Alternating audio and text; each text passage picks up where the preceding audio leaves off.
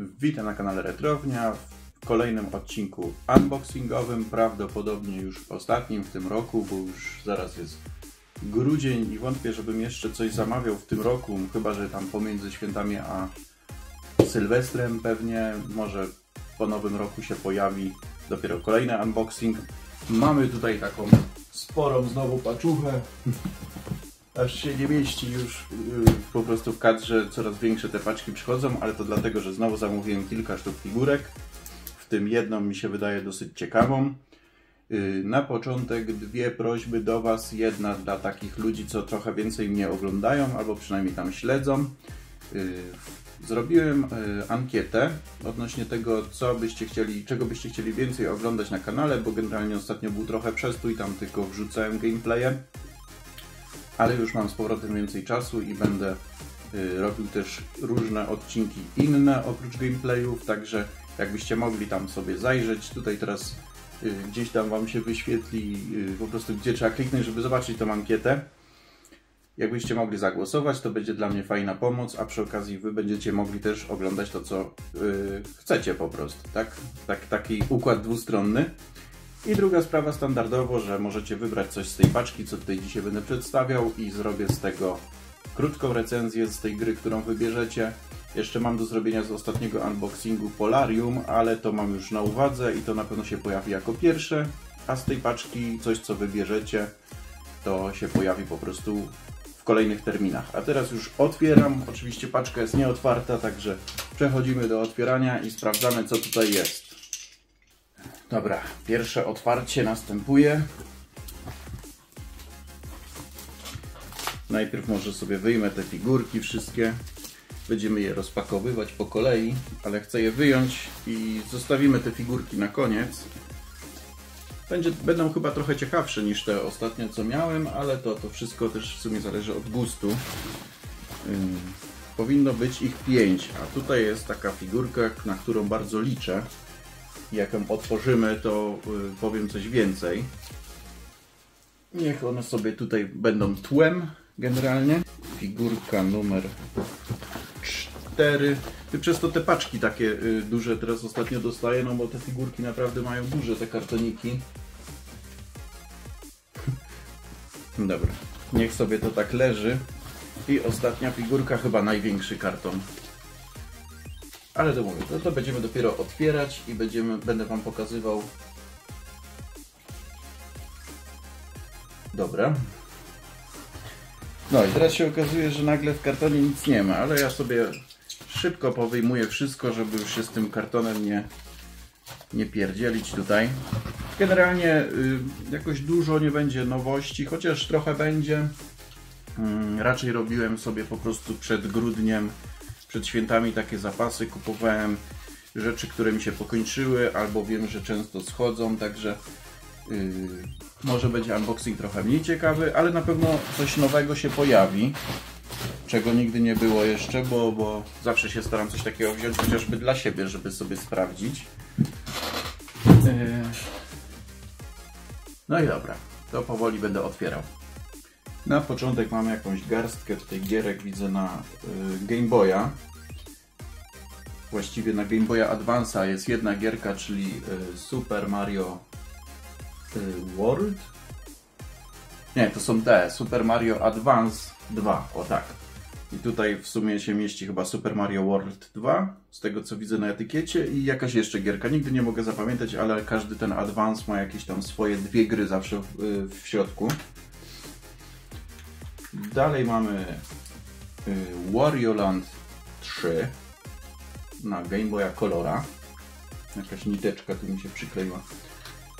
I Wario Land 3 mamy w dwóch kopiach. To jest spoko gierka, bo ona mimo, że jest z Japonii, to ma język angielski, więc jest bardzo, bardzo fajna. A ta japońska wersja kosztuje już teraz to nie wiem, chyba ze stówę taniej niż, niż yy, europejska, także w sumie warto się tym zainteresować. Mamy Donkey Kong Land na Game Boyka w żółtym kartridżu. To takie dosyć niespotykane w Japonii, bo w Japonii nie robili kolorowych kartridżów. Nawet Pokémony wszystkie są w szarych. No chyba, że tam potem na Game Boya Colora, no to yy, Silver i Gold są chyba w takich granatowych i takich jakby lekko srebrnych, coś takiego. Mamy Super Mario Land 3, Wario Land.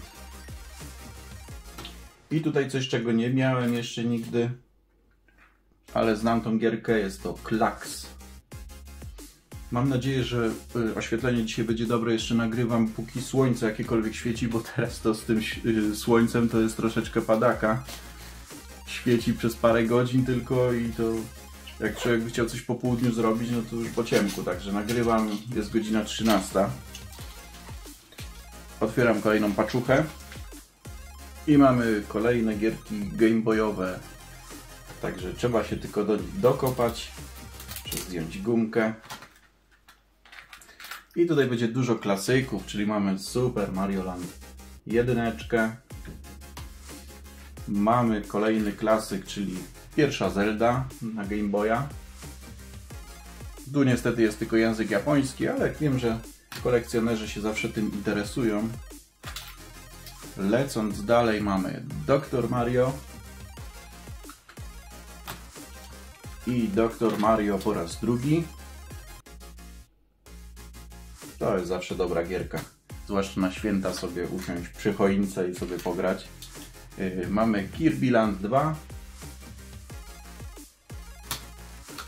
I mamy kolejne Mario Landy. Mario Land pierwszy. Tu widzę z jakimś babokiem. Ale wam powiem, że yy, na przykład na kamerze on wygląda taki mocno jest ciemny, a na żywo praktycznie ledwo co to widać. Ale kamera widocznie tak zbiera. Ale to sobie wyczyszczę. Mamy jeszcze jeden Mario Land. Tu będzie ich chyba sporo. I jeszcze jeden. I tutaj mamy Mario Land 3. Jeszcze jeden. I mamy Kirby yy, jedyneczkę. Kirby Land. Czy jakoś tak. Mamy jeszcze jeden Kirby. I tutaj powinny być tak. Mam trzy Tetrisy. To tylko jednego pokażę, albo w sumie tak wszystkie trzy naraz. To na zamówienie. Miałem w sumie zamówienie na 10 Tetrisów, ale o dziwo mało sztuk tego zostaje w Japonii w dobrych cenach, jak już tu są drogie bardzo. Także mamy trzy Tetrisy, to nawet sobie osobno odłożę, bo to już jest sprzedane. I tutaj mamy coś, co sobie wziąłem, y, bo mi się spodobała okładka. Zerknijcie sobie na to. Praktycznie okładka nic nie mówi. Y, już mówię wam, co to jest. Sprawdziłem i to jest Pocket Love. Nie mam pojęcia, czy to jest jakieś coś randkowe? Może jakiś symulator randkowy? W każdym, w każdym bądź razie fajna okładeczka, podoba, podoba się dla mnie. I tutaj dalej mamy Pokemonki, Pokémon Yellow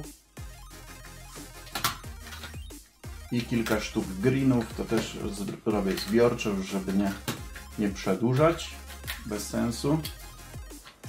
Greeny to są zawsze w cenie, bo to są wiadomo jedyne oryginalne greeny jakie wyszły. A może tak bardziej. Dobra.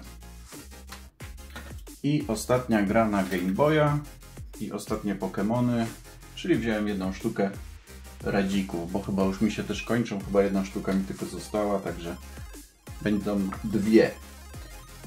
I teraz sobie przejdziemy do gierek famikonowych. No nic innego nie ma gierek, na to wychodzi. Wziąłem tylko figurki gameboyowe i famikonowe. Także roz, rozrywam tutaj pudełko i zaczynamy od Super Mario Bros., czyli klasyczek. Uuu, w bardzo fajnym stanie, niezniszczone, tyły też. Także jak ktoś jest chętny, to już może pisać, bo często jest tak, że ktoś do mnie pisze na drugi, na trzeci dzień, już nie ma niestety. Poszło. ja się śmieję, ale zawsze w czego można u mnie zamówić. Yy, tylko mówię, w tym roku już raczej nie będzie zamówień więcej, dopiero w przyszłym roku. A tak podpowiem tylko, że jak się zamówił mnie wcześniej, to jest y, dużo taniej. I to tak zdecydowanie, bo może być nawet o połowę. I tutaj mamy coś fajnego. Pamiętacie może Famicom y, Jump, robiłem z tego recenzję. Tutaj mamy Famicom Jump 2. Już Goku jest duży i generalnie już są jakieś inne też postacie. Trochę się światło odbija. Ale jestem ciekawy tego, to sobie na pewno będę musiał sprawdzić. W ogóle bardzo ciężki kartridż, taki fajny. I jeszcze jeden taki kartridż nietypowy. Z wytłoczonym logo Nintendo, ale już sprawdzam co to jest. Zobaczcie sobie. Ma wytłoczone logo Koei i jest to Sangokushi Records of the Three Kingdoms. Coś takiego. Nie mam pojęcia, czy to jest jakaś strategia, czy coś, ale też taki fajny kartridż masywny. No i na koniec nam została taka ciuchcia tutaj z, z famikonowymi rzeczami. I jako pierwsze leci Kapitan Tsubasa. Pierwsza część. Bardzo dobra gra. To są jedyne, y, jedyna piłka nożna, która nie jest piłką nożną, którą bardzo lubię. Czyli w sumie z, to jest taka piłka nożna y, turowa. Jakby ktoś się interesował, to jest bardzo ciekawa sprawa. Jeszcze dwa razy Super Mario. Jedyneczka, czyli mamy w sumie cztery kopie tego.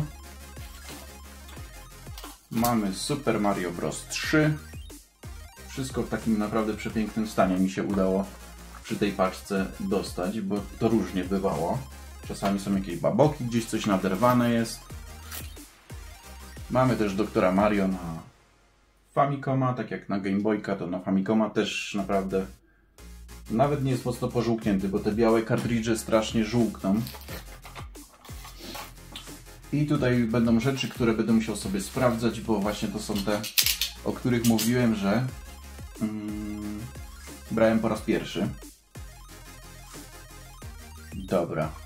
Mamy coś takiego i to jest Takeda Shingen. Tu akurat widzę trochę podrapany tył jest niestety, ale przód jest ładny. Lecąc dalej mamy to jest y, Family Boxing. Takie cudo, a zobaczcie tutaj z tyłu jest jeszcze y, cenówka przyklejona, nie wiem, to chyba z jakiegoś sklepu po prostu z używanymi grami. 500 jenów. Ciekawe jak to jest, bo to jest jakaś data, te 15.02. Ciekawe czy to 02 to jest na przykład rok. Albo 15 to jest rok? No nie wiem, w każdym bądź razie fajna ciekawostka, lubię takie rzeczy. I lecąc yy, dalej, już muszę przeskrolować, co to jest. Też fajna okładka bardzo. Toki no Tabibito Time Strangers. Stranger nawet. Jeden Stranger. Też jestem ciekawy, co to może być. I tutaj dalej mamy coś, co mi się wydaje, że to może być ta słynna tygrysia maska, ale nie wiem. Może wy mi powiecie. W każdym bądź razie nazywa się to Tatakae Ramenman. Ramenman to by była tygrysia maska? Myślicie? No nie wiem. Się okaże. I co tu jeszcze? Aha, i tutaj już mam dwie gierki, które znamy. Volguard 2. To już nie muszę sprawdzać, zresztą jest napisane ładnie. I klasycznie Dragon Ball yy, Shenron Nonazo, jak dobrze kojarzę. I to by było tyle, jeśli chodzi o gry. Także teraz jeszcze wypakuję figurki i zaraz wracamy. Ok, umówmy się tak, że pokażę Wam w boksach te y, figurki. I jedną wyjąłem tak dla pokazania, a jeżeli chcielibyście zobaczyć dokładne zdjęcia tych y, figurek, już takie powiedzmy zrobione profesjonalnie, na, na tle tam czarnym czy białym, to zapraszam na y, fanpage na Facebooku, bo tutaj by mi to zajęło godzinę po prostu, żeby to wszystko pokazać. A i tak jutro prawdopodobnie będę robił zdjęcia tym figurkom, to wtedy je tam wrzucę, ewentualnie na Instagrama, jak ktoś lubi, mogę wrzucać. Możecie mi dać znać w komentarzach, czy takie rzeczy wolicie na Facebooku, czy na Instagramie. I tu jako pierwszą mamy Roselia Minato Yukina. To jest taka figureczka. To jest od Segi, dlatego akurat sobie ją otworzyłem. I tu jest napisane coś tam Vocalist Collection Number One, czyli to może być coś z tych śpiewających japońskich y, dziewczynek, w sensie, które nie istnieją. Y, tak mi się wydaje. W każdym bądź razie akurat tą sobie wyjąłem. I wam powiem, że ona wygląda naprawdę mega, mega zacnie jest. Jest tak szczegółowa i tak fajnie to wszystko wygląda, że ja po prostu jestem w ciężkim szoku. Nie mogę ostrości złapać. O. Ciężko do pokazywania właśnie tych figurek, dlatego wolę je na zdjęciach przedstawiać. Ale w ogóle no te włoski, to wszystko to jest po prostu magia jakaś. No dobra. Z racji tego, że ciężko mi to złapać po prostu na ostrości, dlatego nie chcę tutaj tym manewrować. Ale ta figurka jest naprawdę cudna. Może się ktoś znajdzie w sumie na to, bo ja dopiero się zakochuję tak naprawdę w figurkach, jeszcze, jeszcze się na tym dobrze nie znam. I teraz Wam pokażę jeszcze tylko co mam tutaj pozostałego, w tym y, jedna rzecz naprawdę super mam wrażenie, ale to po kolei. Y, druga figurka, Diamanche, y, nie wiem co to jest, Couture. Jest to coś takiego. I to jest figurka z chyba z anime Relife, jak dobrze kojarzę, tak. Relife in a different world from zero. Coś takiego. Akurat Relife oglądałem, ale nie kojarzę tej postaci, więc może to było w jakiejś gierce, nie wiem. Yy, dalej mamy tutaj figurkę z serii Cunties, to jest od Bandai. Już mieliśmy jedną taką figurkę w ostatnim unboxingu, tylko inną postać. Yy, to sobie na pewno też sprawdzę. Już tam tych figurek nie mam. Tak naprawdę została mi jedna figurka yy, z tamtego unboxingu. Dwie figurki, przepraszam. Także jak się okazuje, ktoś tam to zbiera w Polsce. Yy, tutaj mamy coś też fajnego. Kurumi Tokisaki. Tę postać chyba kojarzę generalnie z, z anime. Date Alive jest coś takiego tutaj. I to jest figurka od Taito. Nawet mamy tutaj yy, o właśnie kod, Kodakawa. To jest, gdzieś sprawdzałem, że to jest właśnie wyznacznik oryginalności. Każda figurka ma swój indywidualny kod. No dobra, i na koniec coś, na co wszyscy czekali, albo nikt. W każdym bądź razie z okazji 50-lecia Jump jest figurka Goku. Tylko co w tym jest takiego dziwnego? Jest to w tym dziwnego, że ona jest nieotwarta. To jest nówka sztuka. Jest nietknięta i niestety nie będę jej otwierał do zdjęć, więc jedynie można sobie popatrzeć w ten sposób. I ona chyba nie jest ruchoma. To jest taka figurka stojąca. Tutaj nawet jest z jakiego kadru to zostało wzięte. Prawdopodobnie. Także z tego jestem naprawdę zadowolony, bo to jest od Banpresto. Jak szukałem tego, nie jestem pewien, czy na 100% znalazłem tą samą figurkę, ale mm, na District Zero znalazłem figurkę, która wygląda praktycznie identycznie. I tam jest napisane, że y, premiera w Europie dopiero będzie w przyszłym roku, więc możliwe, że w Japonii już była premiera i ja ją mam w ręku właśnie w stanie nieotwartym. I na District Zero było chyba 303 zł napisane za tą figurkę. Więc y, jeśli ktoś się zgłosi po obejrzeniu tego filmiku do mnie na fejsie i napisze, że jest z tego filmiku, znaczy, że przyszedł z filmiku, to dam stówkę zniżki powiedzmy na to. Ona ma jeszcze plomby. Ja tego otwierać nie będę, więc nawet nie sprawdzam co jest w środku. No i to by było na tyle, jeżeli chodzi o dzisiaj. Z tego jestem naprawdę zadowolony. To by było na tyle. Jak zwykle, jak macie jakieś pytania, to piszcie. Napiszcie, co Wam się tutaj podobało z tego unboxingu najbardziej. I ewentualnie jaką byście zobaczyli recenzję z tych gierek, co pokazałem. Mówię, dzisiaj yy, tak dosyć ubogo gierki, ale coś tam musiałem dokupić, tak żeby mieć yy, po prostu dodatkowe kopie. I no i to by było na tyle. Zawsze coś nowego tam zamówiłem.